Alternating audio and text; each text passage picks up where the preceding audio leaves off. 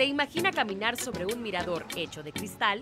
Usted puede vivir la experiencia en Finca Rauda, donde recientemente fue inaugurado este atractivo turístico que ha llamado la atención de turistas nacionales y extranjeros.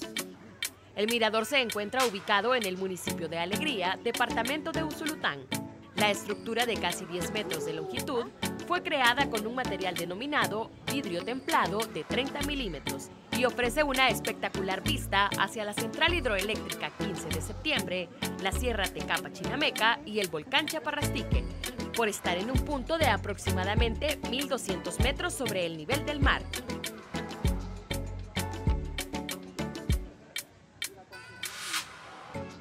El lugar está abierto al público de lunes a domingo, con horario en días de semana de 8 de la mañana a 8.30 de la noche sábado y domingo desde las 8 de la mañana hasta las 9 de la noche.